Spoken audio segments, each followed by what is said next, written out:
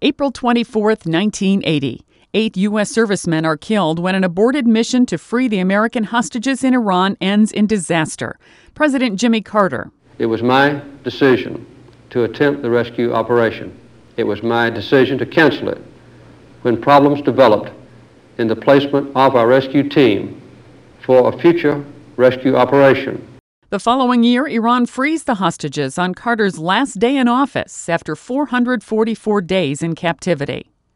1916. The Easter Rising begins in Ireland. Some 1,600 Irish nationalists seize several key sites in Dublin, aiming to end British rule over the entire Emerald Isle. British forces crush the armed rebellion almost a week later.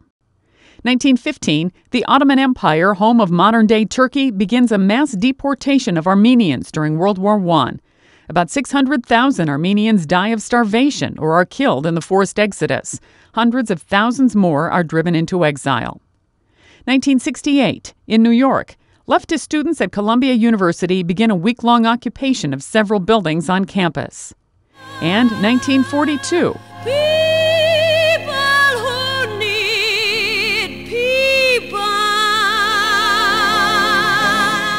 Barbra Streisand, singer, actress, director, and producer, is born in Brooklyn, New York. Today in History, April 24th. Sandy Kozel, The Associated Press.